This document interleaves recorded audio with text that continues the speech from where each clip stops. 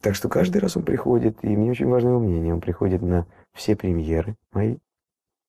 И каждый раз мне приятна его оценка, ибо я э, отца так же, как многих из зрителей, спрашиваю, батя, ну тебе зачем ходить, ну столько раз? Он говорит, ты опять меня не понимаешь. Я каждый раз хочу это пережить. Я также смотрю ту самую энергетику, я также проживаю вместе с тобой, я проигрываю вместе с тобой, я плачу вместе с тобой, я смеюсь вместе с тобой. И я порой даже не понимаю, как ты это делаешь. И вот эта великая оценка учителя моего первого и самого главного, это моего отца. Ибо он как раз является моим самым главным учителем. В этой профессии он научил меня ремеслу, буквально начиная с 12 лет.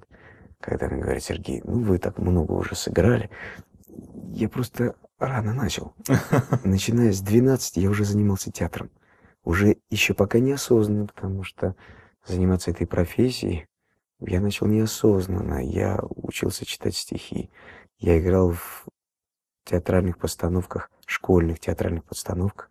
Я играл Пушкина. В литмонтаже еще, по-моему, класс, наверное, был четвертый или пятый. Маленький мальчик в пионерской рубашечке, которая была приторочена жабо, чтобы создать иллюзию рубашки XIX века, в какой-то крылатке, которую сам отец. Отец мне пришивал жабу, и отец мне шил крылатку, чтобы я походил на Пушкина. Без грима. Мне было лет восемь, я играл Пушкина.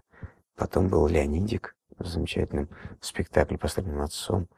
Первый акт отец поставил арбузовских, а, арбузовского произведения. Замечательное, кстати, произведение, поскольку там три блестящие роли. Марат, Леонидик, mm-hmm. Лика –